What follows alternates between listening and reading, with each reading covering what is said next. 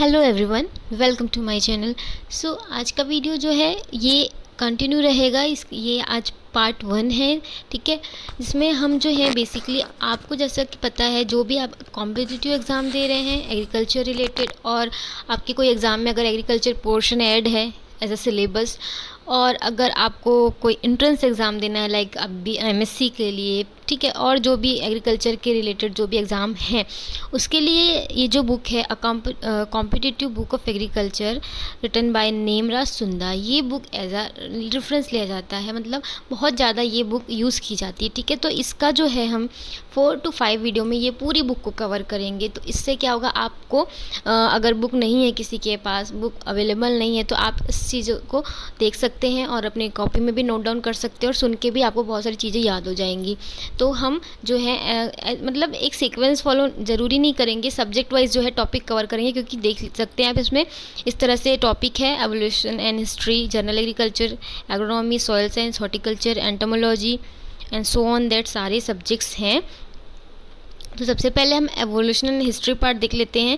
Then हम जो है हॉर्टिकल्चर का जो पोर्शन है, वो देख लेंगे क्योंकि थोड़ा मतलब बड़ा हो जाता है। इसमें वेजिटेबल फ्रूट प्रोसेसिंग सारी चीज़ जाएँगी। एंड देन फिर हम कंटिन्यू करेंगे। जो पहले इंपॉर्टेंट सब्जेक्ट्स हैं, उसको पहले पहले कवर कर लेंगे। एंड ये जो है वीडियो वो आपका पूरा कंप्लीट हो जाएगा। आई थिंक फाइव वीडियो में जो है मतलब फाइव पार्ट्स में जो आएगा वीडियो कवर हो जाएगा। वीडियो थोड़ा लंबा होगा, ठीक है? तो आप लोग पूरा देखिएगा। और वीडियो अच्छा लगी तो चैनल को सब्सक्राइब कर लीजिएगा। और वीडियो को शेयर ज़रूर कीजिएगा और लाइक कर दिया कीजिए। एक लाइक जो है वो बहुत मोटिवेट कर देता है आप लोगों का। ठीक है तो हम वीडियो स्टार्ट करते हैं। सबसे पहले हम देख लेते हैं ये आपका जो जो भी एवोल्यूशन रिलेटेड जो भी एग्रीकल्चर से रिलेटेड और उसके जो और रिलेटेड टॉपिक्स हैं वो। So the term agriculture and related subjects they are derive from the word जो भी ऐसे एग्ज़ाम में पूछा जाता है कि ये वर्ड किससे डिराइव किया गया, ये वर्ड किससे डिराइव ऐसे क्वेश्चन बहुत आते हैं और आई थिंक हर एग्ज़ाम में एक क्वेश्चन ऐसा आ जाता है। तो एग्रीकल्चर सबसे पहला है। एग्रीकल्चर जिसकी आप बात कर रहे हैं this is a Latin word तो आपको याद रखना है एग्रीकल्चर लैटिन वर्ड है। एगर मतलब होता है आपका सॉइल एंड कल्चर मतलब होता है कल्टिवेशन यानी सॉइल में जब आप कल्टिवेशन करते हैं, यानी आप मिर्ज़ा में जब खेती करते हैं दैट इज़ द एग्रीकल्चर तो आपको ऐसे याद रखना है एग्री मतलब सॉइल होता है और मतलब एगर मतलब सॉइल होता है एंड जो आपका कल्चर यानी उसका मतलब होता है कल्टिवेशन तो this is the Latin word but यहाँ पर आपको अब याद करने का ट्रिक है जो एग्रीकल्चर है वो लैटिन है बट एग्रोनॉमी जो इसका क्या है? थोड़ा अलग है ग्रीक वर्ड है ये। तो एग्रोनॉमी ग्रीक वर्ड होता है, इसका मतलब होता है एग्रो यानी फ़ील्ड होता है और नॉमस यानी होता है मैनेज करना फ़ील्ड को मैनेज करना। This is the agronomy horticulture जो होता है, ये लैटिन है। तो मेन मेन जो है, जैसे एग्रीकल्चर मेन है दैट इज़ लैटिन एग्रोनॉमी उसका एक ब्रांच है that is the Greek word horticulture is main that is Latin word तो ऐसे थोड़ा याद कर लीजिएगा आप। हॉटस मतलब होता है गार्डन ठीक है? और आपका मोन नोमस मतलब होता है मैनेज करना, ठीक? तो दिस इज़ है? आप जब गार्डन मैनेज करते हैं, अब वो गार्डन में फ्रूट वेजिटेबल सारी चीज़ें आएँगी, ठीक है? हॉर्टिकल्चर के अंतर्गत। अब हॉर्टिकल्चर के डिफरेंट ब्रांचेज हैं, है ना? तो पोमोलॉजी कैसा? पोमोलॉजी अब मैंने जैसे एक आपको ट्रिक बताया था मेन क्या है? लैटिन है देन उसके जो सब ब्रांचेज है ग्रीक ये ऐसे टाइप के याद कर सकते हैं तो यहाँ पर पोमोलॉजी जो है एक्चुअल में this is a combination of Latin and Greek word okay pomo जो है this is the Latin word and जो आपका लॉगस है this is the Greek word तो this is the like combination कैसा बना यहाँ पर? आपका जो पोम पोनम है या पोमो जो है दिस इज़ uh, इसका मतलब होता है फ्रूट लैटिन वर्ड में. ग्रीक वर्ड जो लॉगस है उसका मतलब होता है ठीक है साइंस या डिस्कोर्स या फिर सॉरी uh, ट्रोटाइस तो ये जो है ये मीनिंग होते हैं ठीक है. तो दिस इज़ द अगर आपको एग्ज़ाम में पूछेगा पोमोलॉजी तो अगर आएगा दोनों, इस तरह का ऑप्शन में कि पोम इज़ लैटिन एंड जो आपका लोगस है दिस इज़ ग्रीक तो उसमें टिक लगाइएगा, ठीक है? तो ये आपका है। और अगर केवल मतलब ऑप्शन में आएगा पोमोलॉजी अलग से अगर आएगा कि ग्रीक है लैटिन है, इस तरह के मतलब चार ऑप्शन में पहला ग्रीक रहेगा सेकंड लैटिन रहेगा और ऐसे रहेगा तो आप लैटिन में लगाइएगा, ठीक है? तो नेक्स्ट है ओल्डिकल्चर ओलरीकल्चर जो है बेसिकली ये लैटिन वर्ड है. ओलरी मतलब क्या होता है? पॉट हर्ब्स ठीक है? जिनको मतलब ऐसे हर्ब्स यानी प्लांट जो पॉट यानी छोटे रूप में हम लगा सकते हैं. This is the olericulture like vegetables को आप ग्रो कर सकते हैं पॉट्स में. कल्चर मतलब होता है कल्टिवेशन फ्लोरिकल्चर भी लैटिन वर्ड है. तो पोमोलॉजी में आपको थोड़ा सा वो करना है कि मतलब जो लॉगस है वो आपका ग्रीक है. बाकी पोमो भी क्या है? लैटिन वर्ड होता है. Soil science is also Latin word extension जो है this is the Latin word ex मतलब होता है आउट और टेंशन मतलब होता है स्ट्रेचिंग मतलब आपको जो भी नॉलेज है, उसको आप बाहर क्या करेंगे? स्प्रेड करेंगे. This is extension now soil science Latin word जो है that is catena that meaning chain ठीक है? सॉइल भी लैटिन वर्ड है सॉइल साइंस भी लैटिन वर्ड है। सॉइल का जो आपका सोलम है, इसका मतलब होता है ग्राउंड ग्राउंड एरिया जो होता है, उसको बोलते हैं। अब यहाँ पर एक चीज़ अलग है मानसून मानसून है अरेबिक वर्ड क्या है मानसून अरेबिक वर्ड है, इसका मतलब होता है माउजियम मीनिंग होता है सीज़न तो मानसून क्या है? अरेबिक वर्ड होता है। एंड नेक्स्ट है बायो सॉरी बायोडायनेमिक्स बायोडायनेमिक्स जो है, ये ग्रीक वर्ड होता है बायो यानी होता है ज़िंदगी लाइफ ठीक है? ये एंड डायनेमिक्स मतलब होता है एनर्जी हमने पढ़ा भी होगा डायनेमिक्स ठीक है? तो वो एनर्जी होता है। तो आपको याद रखना है कि बायोडायनिक्स जो है, वो एनर्जी से रिलेटेड है। ट्रक गार्डनिंग जो होता है, ये फ्रेंच वर्ड होता है ट्रॉक्योर मीनिंग होता है इसका बार्टर और एक्सचेंज ठीक है? ट्रक से हम इधर उधर ले आते हैं चीज़ों को। दिस इज़ तो दिस इज़ ट्रक गार्डनिंग जो है, ये आपका कौन सा सब्जेक्ट है? फ्रेंच है मानसून अरेबिक है बायोडायनेमिक्स ग्रीक होता है nematode is also Greek subject nema मतलब होता है थ्रेड लाइक यानी धागे नुमा संरचना, और जो निमेटोड रहते हैं, वो कुछ उसी तरह के दिखाई देते हैं। पेडोलॉजी जो होता है, ये होता है ग्रीक वर्ड पेडोगॉगी भी या जॉजी भी जो है, ये भी ग्रीक वर्ड होता है। पेडॉन यानी होता है सॉइल या फिर अर्थ और पेड यानी होता है चाइल्ड और एगोस यानी इसका मतलब क्या होता है? लेडर तो पेडोलॉजी एंड पेडोजॉजी जो होते हैं दोनों ही क्या होता है? ग्रीक वर्ड होता है। तो दिस इज़ ठीक है मार्केट लैटिन वर्ड है। मार्केटस मतलब होता है प्लेस ऑफ़ ट्रेड जहाँ पर चीज़ों को आ, मतलब आ, ख़रीदा बेचा जाता है। This is place of trade और ट्रैफ़िक सॉरी ट्रैफ़िक और मर्चेंडाइज तो ये सारे इसके मीनिंग होते हैं। एवोल्यूशन जो है this is the Latin word evolution मतलब होता है एवोलो सॉरी एवोल्यूशन मतलब होता है अनरोलिंग और रोलिंग आउट ठीक। Now enzyme is Greek word en मतलब होता है इन जाइम मतलब होता है फर्मेंटेड और लिविंग तो this is the Greek word तो यहाँ पर आपको चीज़ें याद करती जानी है। है क्योंकि जस्ट ये एक रिवीजन है तो आज आप इसको दो तीन बार वीडियो देखेंगे, आपको क्लियर हो जाएगा। बार बार सुनेंगे तो ये चीज़ें याद हो जाएँगी। एंजाइम ग्रीक वर्ड होता है एन एन का मतलब है, ये मैंने बता दिया इन और जाइम मतलब होता है लिविंग और फर्मेंटेड क्रेडिट एक लैटिन वर्ड है क्रेडो मतलब होता है आई ट्रस्ट यू ठीक है? क्रेडिट जो है, एक लैटिन वर्ड होता है। क्रेडो का मीनिंग है I trust you then society Latin word है सोसाइटिस मतलब होता है derive from the noun socius it means comrade और फ्रेंडली ठीक है? तो ये, आप प्रोनाउंसिएशन थोड़ा देख लीजिएगा।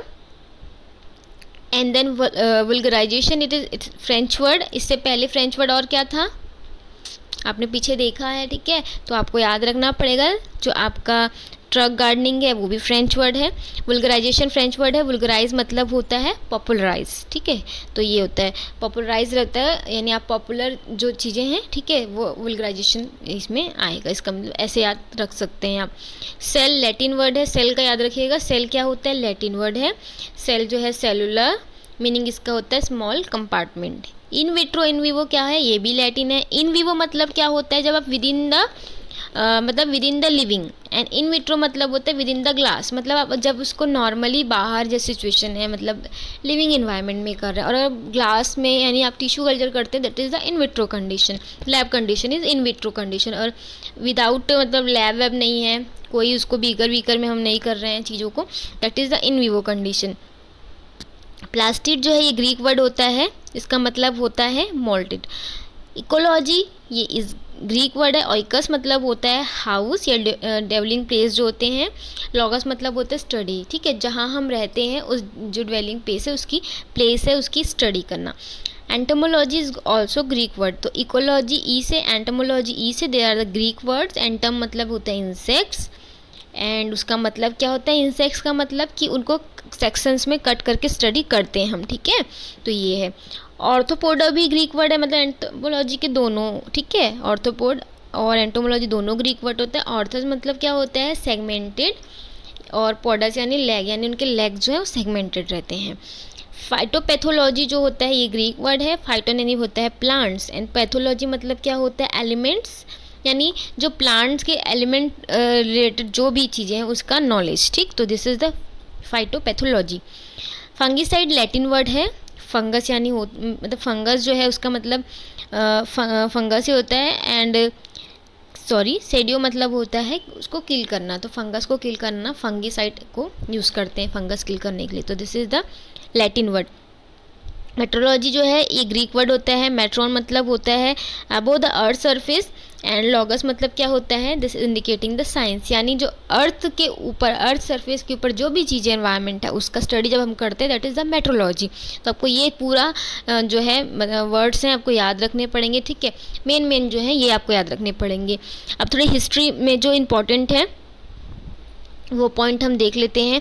जैसा कि आपको पता है एग्रीकल्चर जो है, इस इसका इन्वेंशन और जो भी इसका इंस्पेक्शन है वो बहुत टाइम से, बहुत मिस्ट्री से पूरा चला आ रहा है। अब यहाँ पर इम्पोर्टेंट हमको याद रखना है फ़र्स्ट मैन जो था, वो कौन था? होमो इरेक्टस थे। तो याद रखना है होमो इरेक्टस फ़र्स्ट मैन थे, जो अबाउट 1.5 मिलियन ईयर अगो जो है इवॉल्व हुए हैं धरती पे। तो वो क्या है? होमो इरेक्टस हैं। ठीक है? तो ये आपको चीज़ें याद रखनी है। एंड इसके बाद आपको याद रखना है जो आपका इसके बाद क्या हुआ? फाइव लाख फाइव लैख जो ईयर्स हैं he spread throughout the world यानी जो वो आए, कौन आए? होमो इरेक्टस उन्होंने पाँच लाख ईयर आप बोल सकते हैं मतलब इस वर्ल्ड में उन्होंने क्या किया? स्प्रेड किया. यानी वो रहे हैं। एंड इसका जो है, यहाँ पर देख लीजिए this is first in tropical region and then in temperate region यानी उन्होंने पहले ट्रॉपिकल रीजन को कवर किया देन फिर आफ्टर टेम्परेट रीजन को. तो ये है, ये इतना इंपॉर्टेंट नहीं है. मतलब आपको याद रखना है, सबसे पहले जो आए थे वो होमो इरेक्टस थे. एंड देन फिर क्या हुआ? मतलब मंकी एंड देन फिर जावा मैन होमो इरेक्टस उसके बाद क्या हुआ? Cro sorry Magnon and then modern man जो है that is Homo sapiens sapiens तो ये आपको मॉडर्न का याद रख लेना आप लोग और सबसे पहले वाले का याद रखना अच्छे से। ठीक है? होमो मतलब क्या होता है? होमो यानी होता है कॉन्टिन्यू या कॉन्टिन्यूस और इरेक्टस मतलब होता है इरेक्ट यानी आपको पता है ना कि किस तरह से हमारा विकास हुआ है मतलब पहले हम कैसे चलते थे आदि मानव जो थे। ठीक है? देन फिर किस तरह से इरेक्ट होते गए हैं? दिस इज़ द डेवलपमेंट यानी कंटिन्यू जो इरेक्ट हुआ है ठीक है ये होमो जो है इसका मीनिंग है बेसिकली होमोसेपियंस का। आ, मतलब सेपियंस यानी होता है लर्निंग हैबिट यानी continue erect then learning habit हम सीखते गए सीखते गए और आज यहाँ पर खड़े और आज भी सीखते जा रहे हैं और आगे वाली जनरेशन हो सकता है बहुत अलग हो। तो दिस इज़ द तो अब यहाँ पर जो इम्पोर्टेंट चीज़ें हैं वो मैं यहाँ पर बता देती हूँ। ये जो इम्पोर्टेंट है वही हम डिस्कस करेंगे ठीक है क्योंकि मतलब इस बुक में भी कुछ जो एग्ज़ाम में ज़्यादा पूछ जाते हैं, वो चीज़ें कवर कर लेंगे। बाकी तो ये तो एक एवोल्यूशन से रिलेटेड चीज़ें हैं। देन क्रॉप जो भी आपका सब्जेक्ट वाइज उसको मतलब पूरा पूरा कवर कर लेंगे हम लोग। तो ये तो इतना इम्पोर्टेंट नहीं है। ठीक है? इसको इतना आपको, जो इम्पोर्टेंट है मैं इसको आपको बता दूँगी यहाँ पर। हाँ अब यहाँ से हम देख लेते थोड़ा सा इसको यहाँ से देखते हैं। सबसे पहले आपको ये देखना है।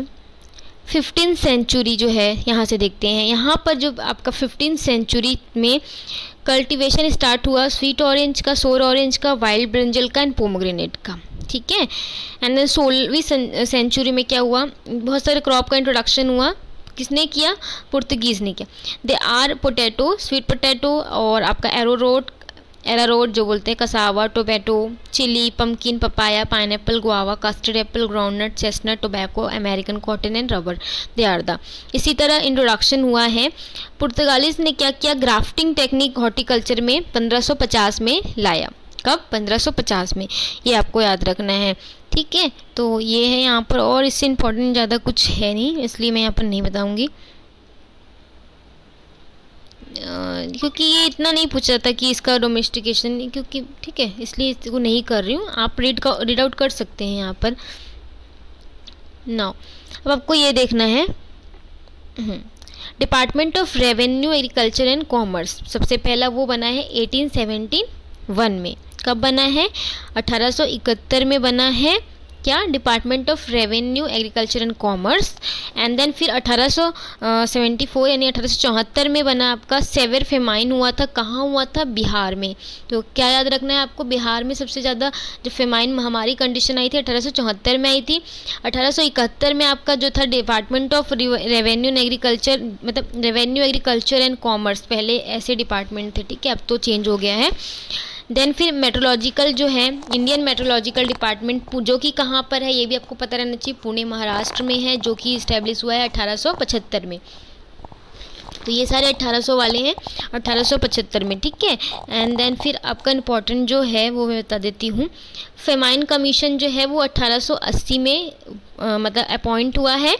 देन आपका government of India started department of revenue and agriculture in province this is this is the 1881 में. एंड देन फिर आपका फ़र्स्ट जो वेटनरी कॉलेज इस्टेब्लिश हुआ है जो कि लाहौर में अब वो पाकिस्तान में लाहौर चले गया है तो वो अब पाकिस्तान में है दैट इज़ 1882 1882 में. ठीक है? और हायर एजुकेशन एग्रीकल्चर में स्टार्ट हुआ है पुणे में 1890 में. ठीक है? तो ये यहाँ पर इम्पोर्टेंट है. और इसके बाद फॉरेस्ट रिसर्च इंस्टीट्यूट 1900 में बना है 1900 एडी में। This is the forest research institute अब आपको बता दूँ कि एग्रीकल्चर कॉलेज कहाँ कहाँ पर थे सबसे पहले? पुणे, कानपुर, साबौर, नागपुर, लालपुर एंड कोयम्बटूर तो 1901 से 1905 के बीच ये छः कॉलेज जो हैं जो हैं, वो हुए हैं। और 1901 में फ़र्स्ट इरिगेशन कमीशन बना है 1901 में। तो आपको ये याद रखना पड़ेगा। देन जो है मॉडल विलेज किसने दिया है? डैनियल हैमिल्टन ने दिया है। किसने? मॉडल विलेज डैनियल हैमिल्टन ने दिया है। एंड देन फिर आपका नेक्स्ट है। गुड़गांव प्रोजेक्ट जो है, वो किसने दिया? एफ़ एल ब्रायने ने दिया है, आपको याद रखना है। जी एफ़ ऐसे करके याद रखिएगा शॉर्ट फॉर्म बता रही हूँ आपको। ठीक है? तो ये दिया है एफ़ एल ब्रायने 1920 में दिया। 1920 के बाद 1921 में आया है आपका श्रीनिकेतन प्रोजेक्ट जो कि दिया है एस आर या आर एस ऐसे याद रखिएगा, रविन्द्रनाथ टैगोर ने दिया है। उन्नीस सौ इक्कीस में ही मार्थेंडम जो है, वो स्पेंचर हैच ने दिया है। सॉरी सॉरी स्पेंसर हैच ने दिया है।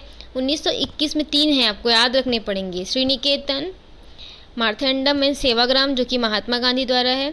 आदर्श सेवा संघ, ठीक है, Pohri Gwalior by the collector सिटोले, ठीक तो ये। देन इंपॉर्टेंट जो है 1926 में क्या हुआ है? Appointment of the royal commission agriculture headed by the lord लिंथी को तो आपको ये याद रखना, सबसे पहला जो कमीशन बना रॉयल कमीशन वो 1926 में बना है। एग्ज़ाम में पूछा जाता है ये चीज़। देन आपको याद रखना है, उन्नीस सौ उनतीस में या 1929 में आईसीएआर इंडियन काउंसिल ऑफ़ जो पहले इम्पीरियल काउंसिल था is change Indian council of agricultural research ICAR new Delhi में है जो कि। तो इसका पूछा जाता है एग्ज़ाम में, है ना? देन 1930 में सेवाग्राम प्रोजेक्ट बाय महात्मा गांधी। तो ये याद रखना है। इससे पहले एक बार 1921 में था देन आफ्टर 1930 में।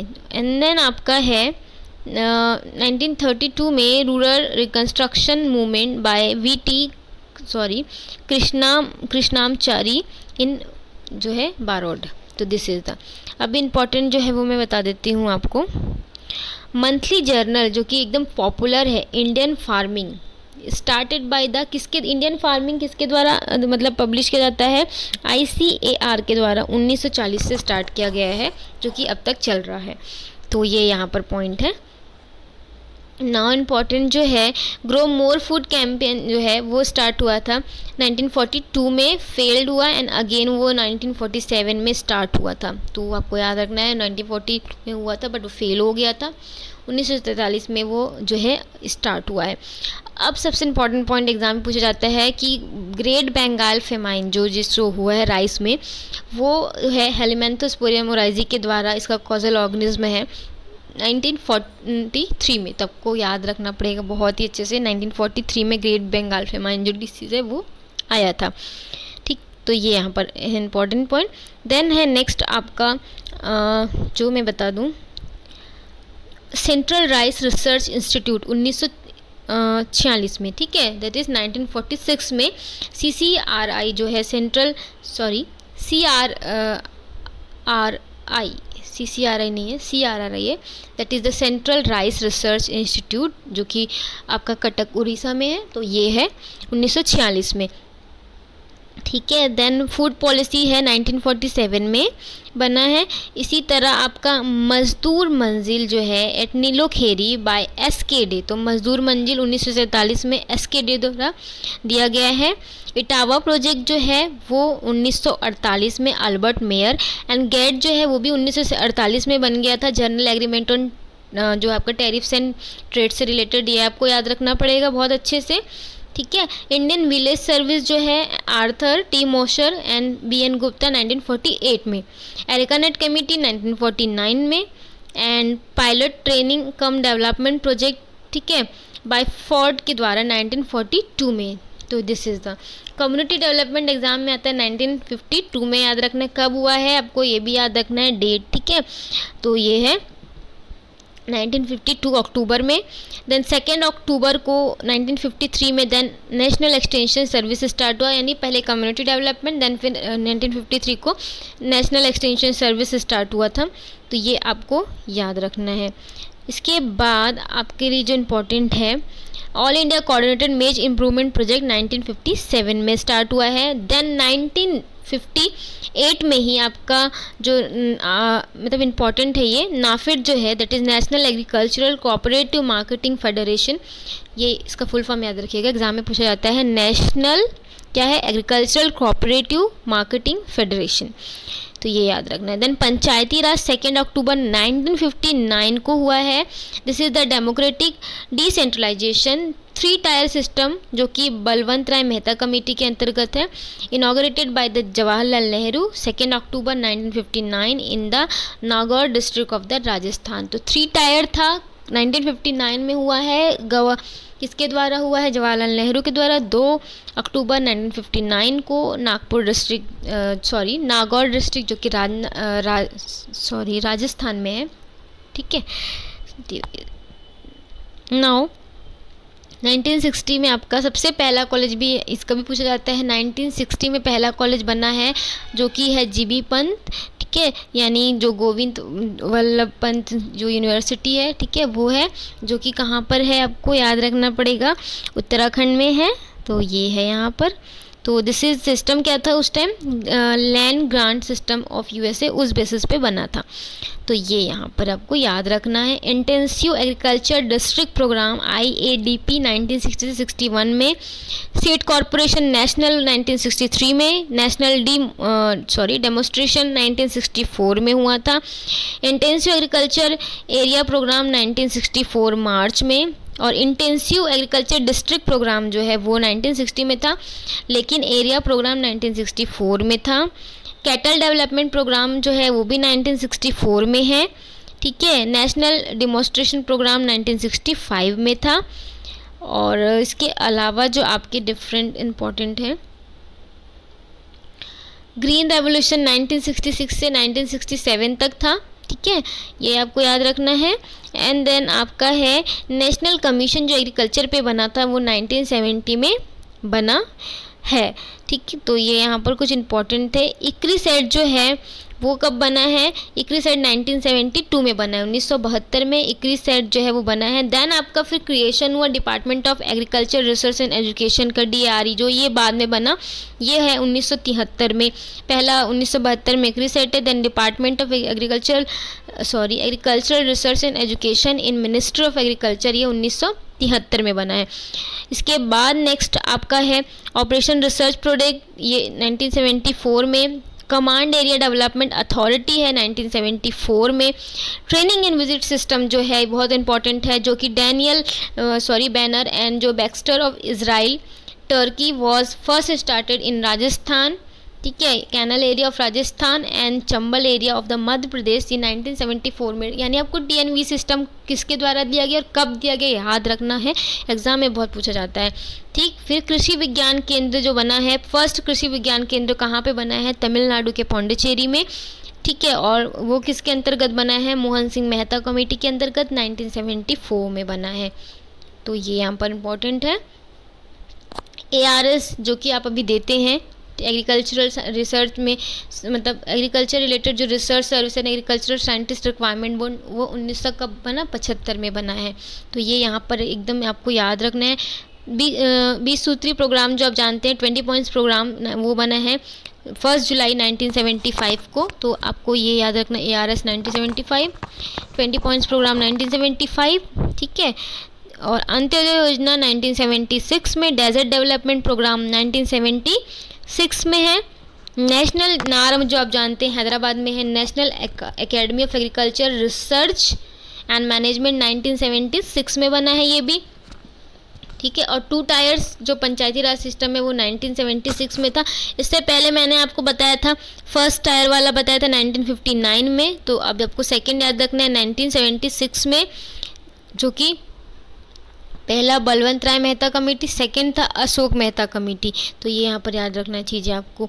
ठीक है integrated rural development program 1978 April में स्टार्ट हुआ है। Training for the rural youth for self employment TRYSEM 1979 में हुआ है। नेशनल एग्रीकल्चरल रिसर्च प्रोजेक्ट 1979 में है। ये भी lab to land program ICAR के द्वारा, जब आईसीआर की गोल्डन जुबली थी तो ये हुआ है 1979 फ़र्स्ट जून को, ठीक है, उन्नीस बोल सकते हैं।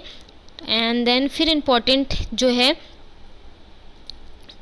आपका 12 जुलाई 1982 को नाबार्ड बना है national bank for agriculture and rural development के लिए, ये बहुत पूछा जाता है। ठीक तो ये यहाँ पर इम्पोर्टेंट है। तो ऐसे ही जो मेन इंपॉर्टेंट है वो मैं आपको मतलब मोस्टली बता रही हूँ। बाकी तो आप देख ही रहे हैं यहाँ पर स्क्रीन में। ठीक है? तो ये जो इम्पोर्टेंट थी, ये हैं।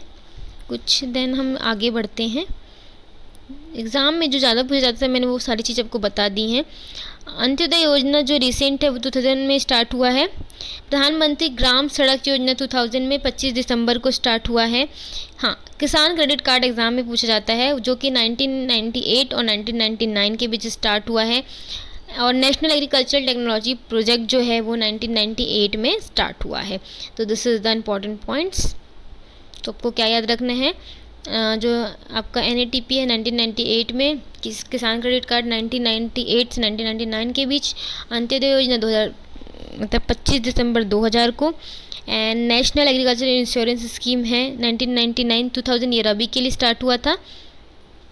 मतलब ये रिसेंट वाले कुछ हैं, ठीक है देन फिर आपका जो है, संपूर्ण ग्रामीण रोज़गार योजना 2001 में स्टार्ट हुआ है। इसके अलावा आपका मतलब द फोर जो है वो आपका स्टार्ट हुआ था स्कीम जो कि है O P P O P D P N P D P A M D P and have been merge into one centrally sponsored integrated scheme जो कि है ऑयल सीड के लिए पल्सेस के लिए ऑयल पाम के लिए मेज के लिए। इसको इंटीग्रेट किया गया I S O P O M ठीक है? तो ये है, ये हुआ है इम्प्लीमेंट आपका फ़र्स्ट अप्रैल 2004 को। ठीक then national food for work program fourteen November 2004 को स्टार्ट हुआ है। नेशनल कमीशन ऑन फार्मर्स जो बना है, जिसके चेयरमैन थे डॉक्टर एम एस स्वामीनाथन 2004 में बना है। मतलब फार्मर्स का कमीशन जो है ठीक है?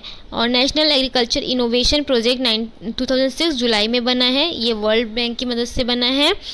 ठीक? नेशनल हॉर्टिकल्चर मिशन जो है 2005 से सिक्स के बीच में बना है। ऐसा आपको एग्ज़ाम में पूछा जाएगा फाइव टू सिक्स आपको लगाना है। ठीक है? नेशनल बैम्बू मिशन जो है वो 2006 से सेवन के बीच, भारत निर्माण 2005 से सिक्स के बीच है। तो इस तरह से है। मनरेगा जो है सिक्स फरवरी 2006 में बना है। National rainfed area development program 2006 में बना है। कब बना है? थ्री नवंबर को।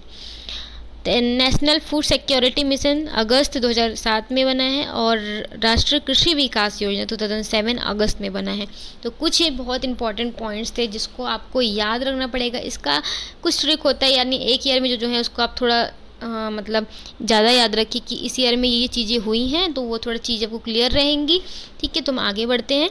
तो ठीक नाव जो हमारा इंपॉर्टेंट पॉइंट है, जो हमको याद रखना है, हम वहाँ से हम स्टार्ट करते हैं आपका हॉर्टिकल्चर सब्जेक्ट से, ताकि एक सब्जेक्ट कवर हो जाए जो इम्पोर्टेंट एग्ज़ाम में बहुत ज़्यादा पूछे जाते हैं। तो हम जो है हॉर्टिकल्चर वाला पोर्शन स्टार्ट करते हैं, हम देख लेते हैं पेज नंबर बेसिकली इसका।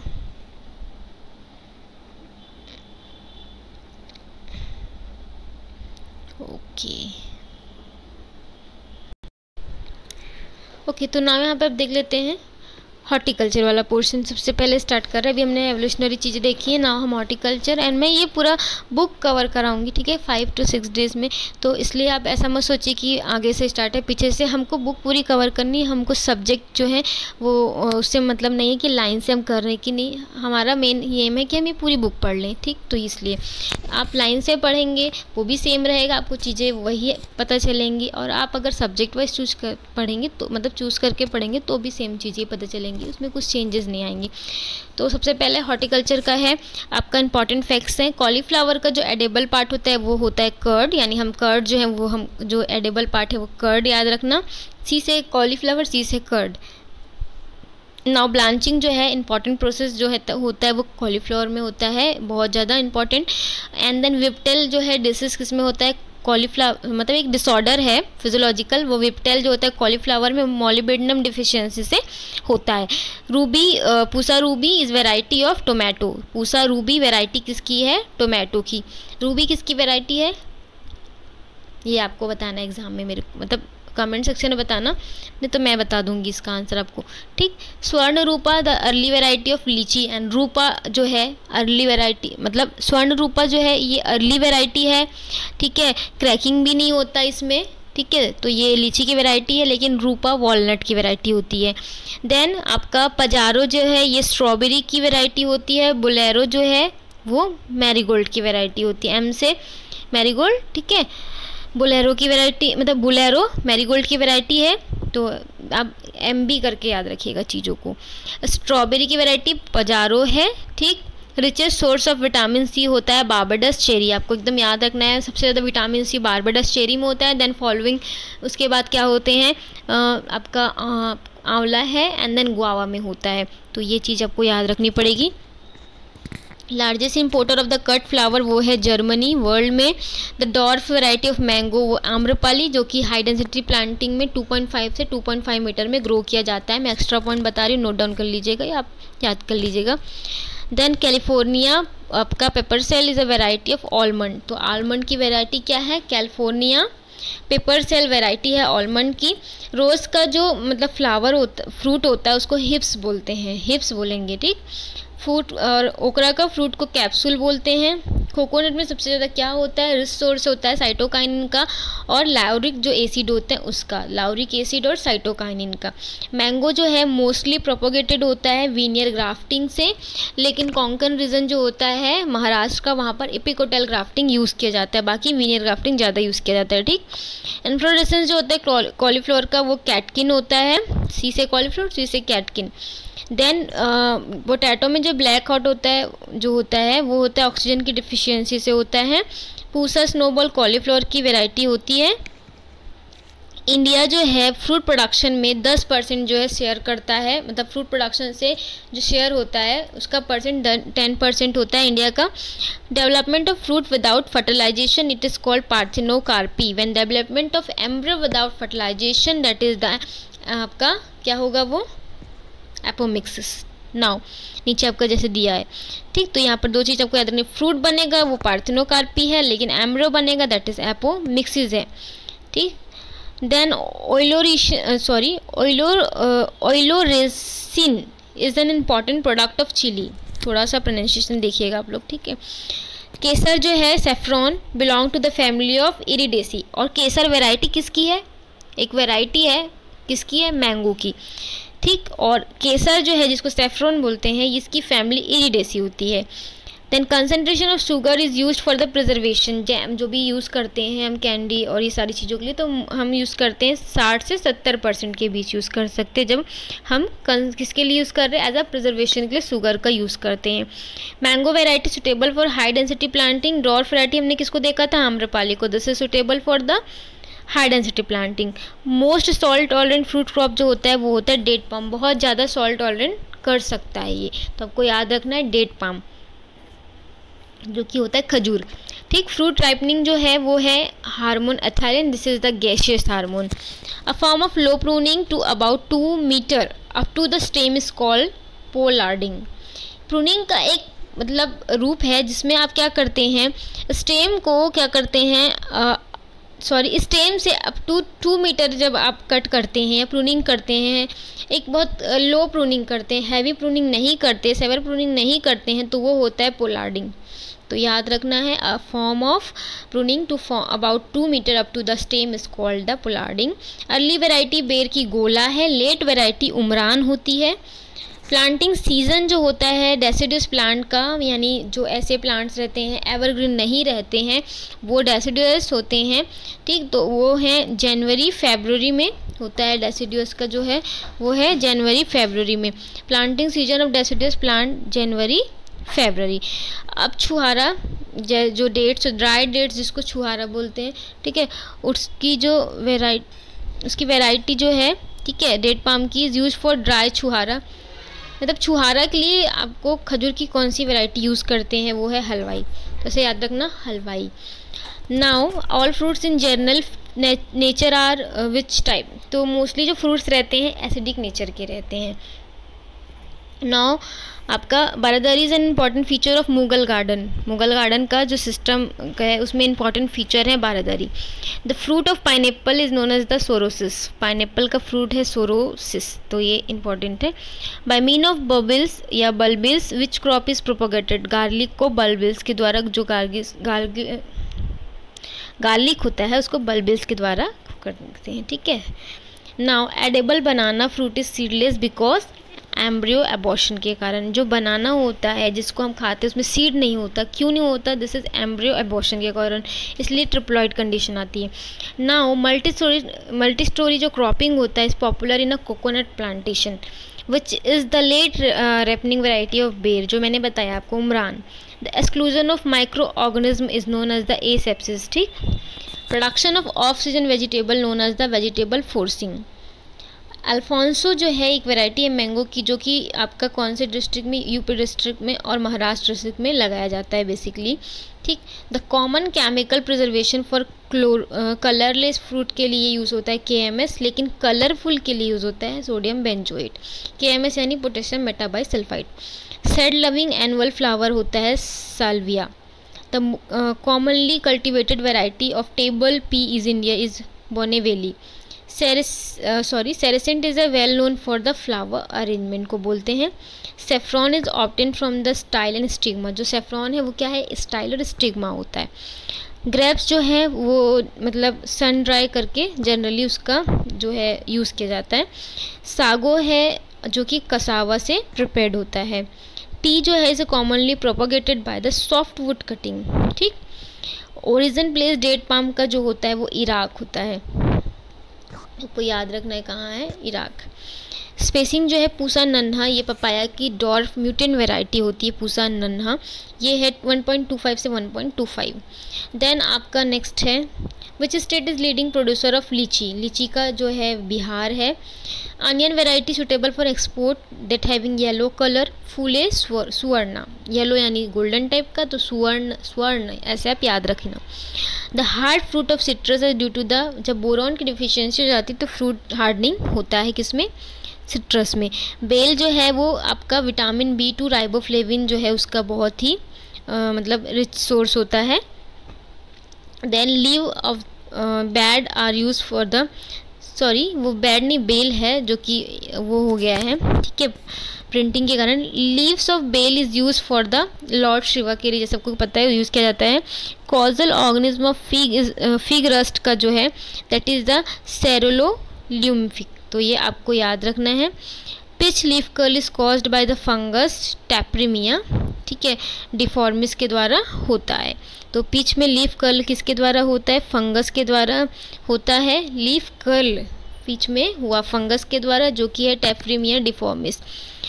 तो ये आपको बिल्कुल याद रखना है, taphrina deformans. Then San Jose scale जो है, एप्पल में होता है, ठीक है, इंपॉर्टेंट पेस्ट है।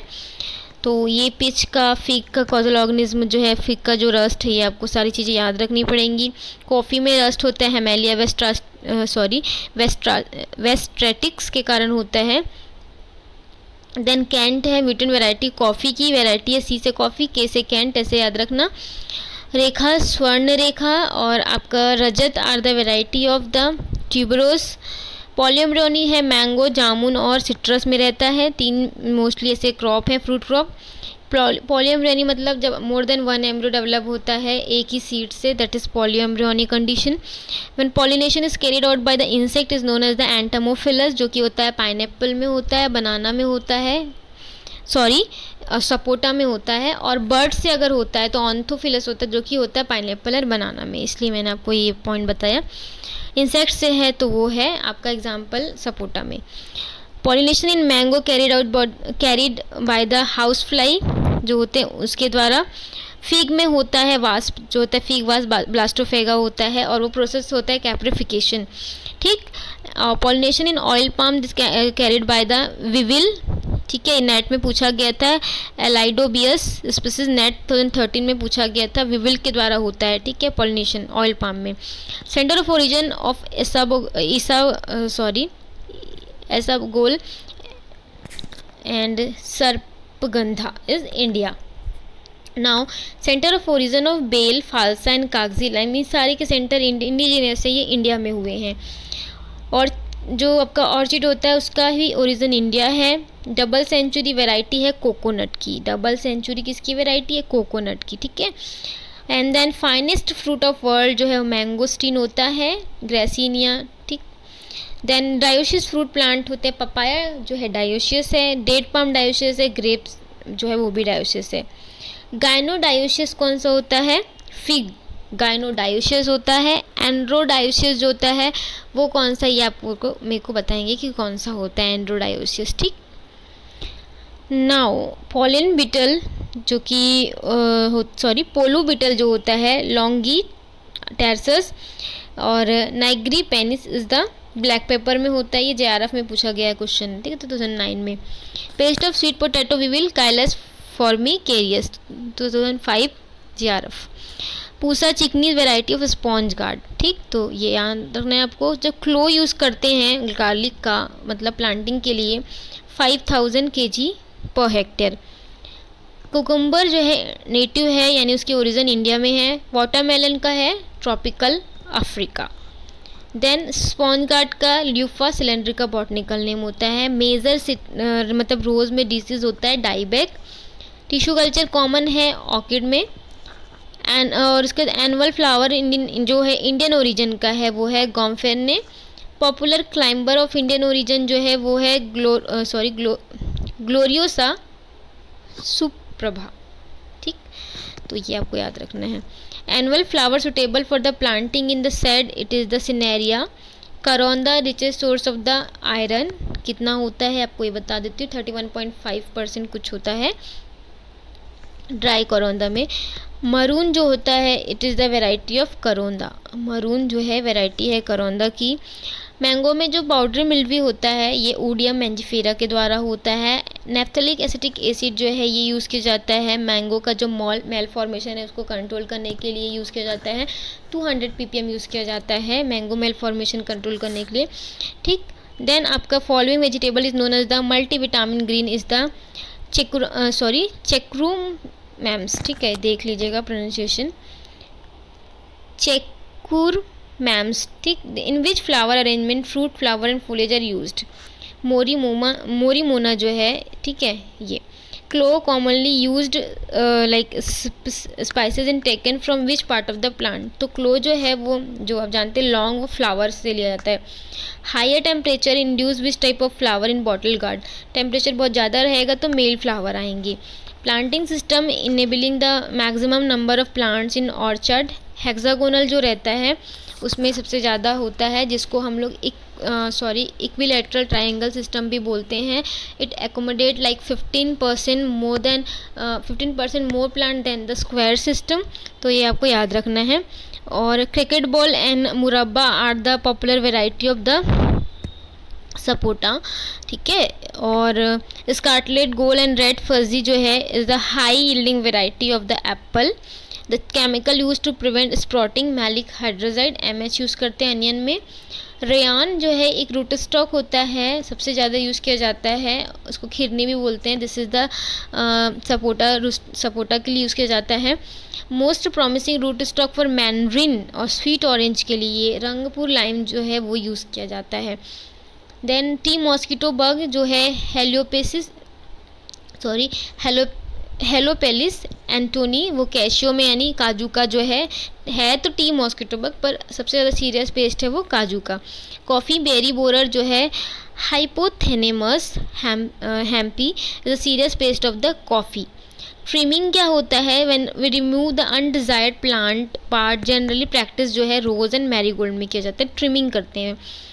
देन ब्रोमेलिन जो है, नाम से ही पाइन ठीक है ब्रोमेलेसी फैमिली होती है पाइन की। तो वो है। Aroma in fruits due to the presence of ester जो आपने आप जब फ्रूट लेते हैं, हर फ्रूट का एक अलग खुशबू एरोमा रहता है। वो एस्टर्स रहते हैं फ्रूट में। Acid content very important for consider consideration for the preparation of jelly domestic pectin and acid दोनों है ना? जेली के लिए domestic quarantine in India exist for the San Jose scale के लिए।